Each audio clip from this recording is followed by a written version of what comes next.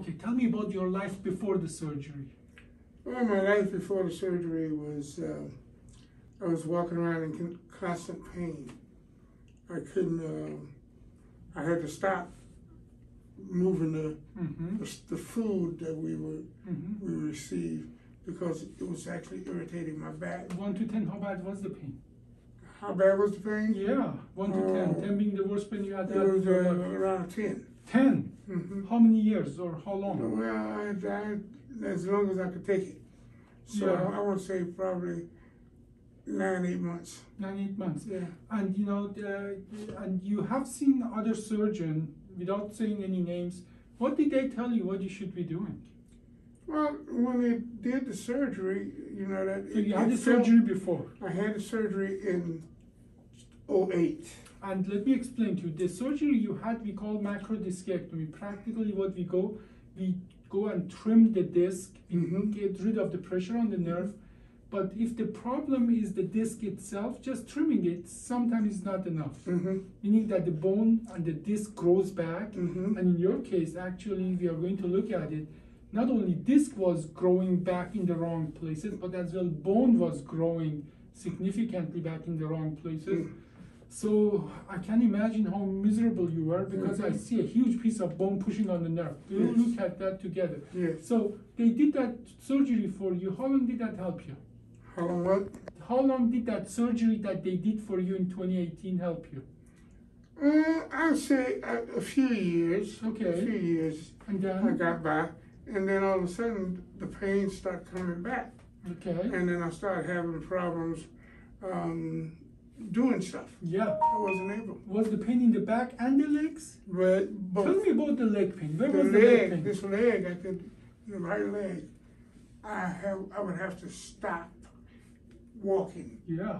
find a bench or find something to sit down to Mhm. rest it. One to ten, how bad was the leg pain? The leg pain again was uh, excruciating. Excruciating. yeah. Yeah. Yeah, that is how the direct pressure on the nerve feels like, Mm. excruciating. That's a word I hear very often. Mm-hmm. So we like to actually show what we did. See, you had the L4-5 microdiscectomy and piece of bone was actually growing inside of the spinal canal Mm-hmm. and and as well bottom disc part of the disc was pushing Mhm. now we talked about that there are multiple ways to deal with that in a regular old fashioned way we would go and remove all the bone in the back Mm-hmm. a lot of bone a lot of muscle removal we literally fillet you open just to remove all of that Mm-hmm. but we had good indication that if we just make that bone stop moving Mhm. and lift it up the result would be adequate to Mhm. get rid of the pain in your legs Okay.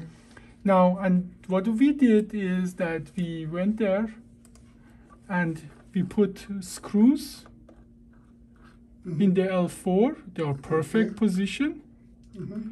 then the spacer in the L4 5 screws in the L5 and as well in the 5S1 in the bottom disc you had a very peculiar situation Mm-hmm. you had symptom on both sides but because of bone were growing in so many wrong places Mm-hmm. we had to put that spacer on both sides we call it bilateral OLLIF Mm-hmm. which is a very special kind of procedure that we invented Mm-hmm. now I think the most important question is how is the leg pain that you had before the surgery? I haven't had any leg pain. So it's gone. Yeah. So in the surgery that uh, I have a record of the surgery. Mm-hmm. This surgery we did it just about a month ago, right? Right. It was on first. Yeah. And our surgery was uh, barely half an, uh, one and a half hour.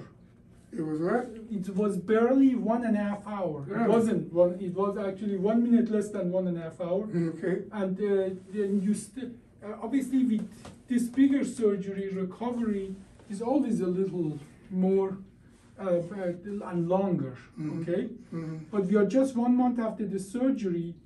I remember you had some symptoms on the left side after the Mhm. surgery. Tell me, what symptoms did you have? Well, the left side started started hurting as well. Yeah, because I had to push the nerve to the side to get in, and there's so there was so little space there. Mm-hmm. But I just checked it. The strength is full now. Yeah. How is it doing now? Fine. Fine. So it was a little rough few, you know, first week or so was rough, Mhm. but we turned around and, you know, that one and a half uh, hour surgery removed your pain in the back. Everything is in the perfect location Okay, and it's now just a healing time. yes, Okay? okay. So overall, so far happy with the results? So far, are you satisfied? I am satisfied. Excellent, excellent. Now, this is a big, by any standard, the big surgery. Similar Mhm. surgery, I just was looking up, in average, take about six, seven hours. Mm-hmm. And people uh, takes uh, months, many months, up Mm. to six months to just to be able to do basic daily activities. Sure, sure. Certainly, with us not cutting the bone and muscle, we can shorten that. And Mhm. overall, I'm, I'm very happy with the result. Even though your surgery wasn't a regular surgery, it Yeah. was a upgraded, more difficult kind of surgery. Mhm. I think the Lord is looking for you. I think he is. Okay, very good.